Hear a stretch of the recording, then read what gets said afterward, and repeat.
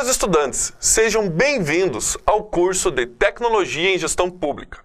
Essa é a disciplina de Informática aplicada ao setor público. Eu sou o professor Albino Cheche Júnior, engenheiro de computação, especialista em mídias na educação, mestre em computação aplicada e doutorando em ensino de ciência e tecnologia.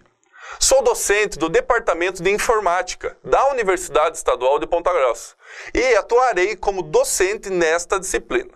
Aqui estudaremos a estrutura de computadores, hardware e software, aplicativos, processadores de texto, planilha eletrônica e apresentação de slides, além das características de sistemas computacionais, internet, página web e correio eletrônico, o e-mail.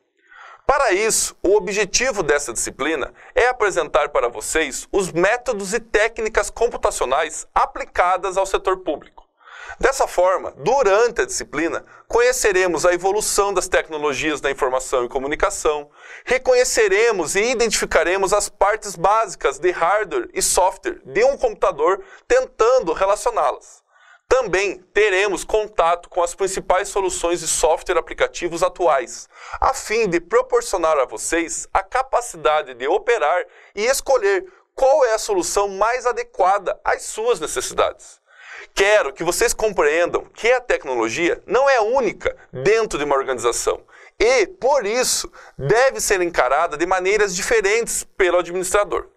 Por fim, conheceremos alguns serviços da internet, como correio eletrônico e busca, além de entender a importância da etiqueta e o impacto dela no ambiente corporativo.